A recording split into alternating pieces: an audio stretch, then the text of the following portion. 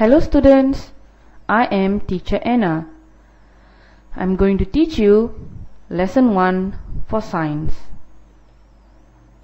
We are going to learn about the animals. We are going to cover about the external features of animals, how to group animals and other ways to group animals.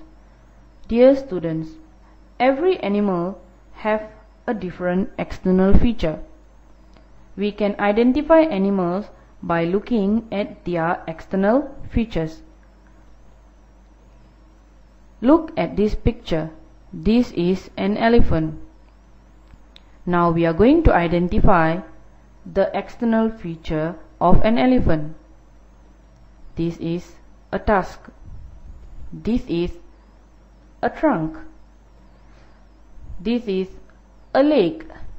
And this is a tail. Dear boys and girls, now how do we group animals? Animals with similar external features can be grouped together. Now let's look at this example boys and girls. Animals with feather. This is a bird. This is a chicken. This is an owl. All these animals are grouped together because they have feathers. Now let's look at another example.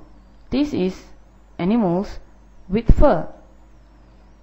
This is a cat. This is a bear. And this is a squirrel. Now boys and girls, all these animals are grouped together because all of them have fur. Okay, look at these pictures. The animals below are in the same group because they have four legs. This is a lion, a buffalo, a goat, a rhinoceros, a cat, and a deer. Boys and girls, all of these animals are in the same group because they have four legs. Now, these animals can be grouped into other groups as well.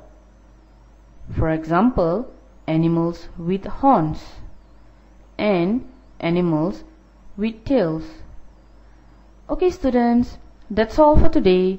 Till we meet again in another lesson. Bye.